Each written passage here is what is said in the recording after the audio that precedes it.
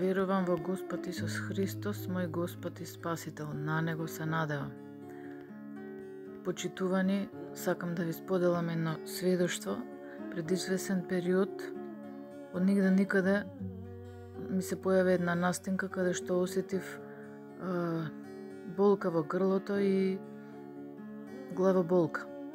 И преку денот не, не обрна внимание вечерта усетив како полека ми се покачува телесната температура. Се напев еден парацетамол и се легнав.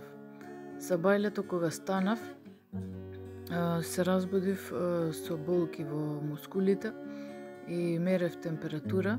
Кога мерев температура, видов дека имам скоро 38 со 7, со 8, веќе одеше температурата на кај 39. Истиот момент помислив и пишав во групата со трудници, преку која што се молиме на Господ Исус Христос, и напишав дека имам покачена телесна температура за да се молат за мене. Браќата и сестрите почнаа да се молат во молитва и сето тоа беше проследено со вера во Христос, така да полека полека почнуваше да ме станува се подобро и подобро.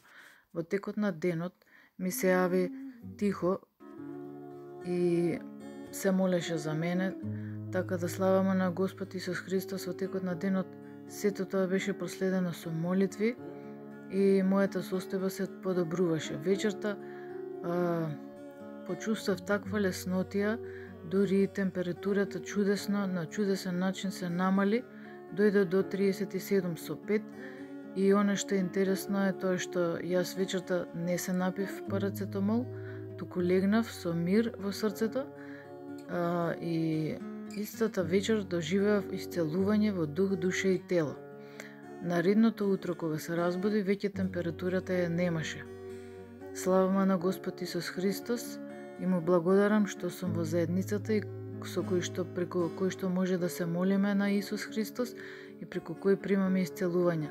Му благодарам на семоќниот Исус Христос, благодарам на Тихомир и Марија, на сотрудниците кои што несебично се молат за секој еден од нас и му благодарам на Исус што действа во нашиот живот и се содействува за добро за оние што го љубат Бога. Слава ти Господи се Христа. Амин.